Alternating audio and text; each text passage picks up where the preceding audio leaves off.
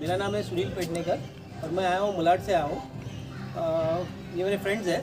Personal experience बोलूँ तो मैं आठ साल से मैं यहाँ पे रेगुलर आता हूँ। और साल में मैं दो, तीन बार मेरा हो ही जाता है।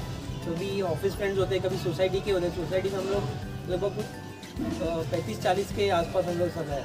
तो फैमिलीज़ आते हैं यहाँ पे हम लोग। जैसे हमारे रूपाराम जी है, वो अच्छा पैकेज देते हैं हमको। और फ़ूड क्वालिटी बहुत अच्छा है यहाँ पे. मेन तो वो है फ़ूड क्वालिटी ये एम्बियंस यहाँ का जो है वो भी काफ़ी अच्छा है.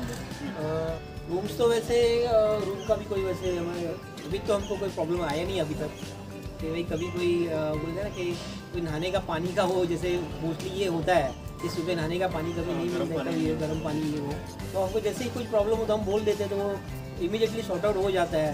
सैटरडे नाइट का प्रोग्राम तो काफ़ी अच्छा और मैं जैसे मैंने पहले भी बताया कि सैटरडे नाइट को प्रोग्राम यहाँ पे होता है कभी मैजिक शो होता है और कभी वो करोगे होता है सॉन्ग्स का वो सब। तो हम लोग भी उसमें कभी हम लोग भी एक दो बार हम लोग भी डांस कर लेते हैं। तो काफ़ी अच्छा मज़ा आता है।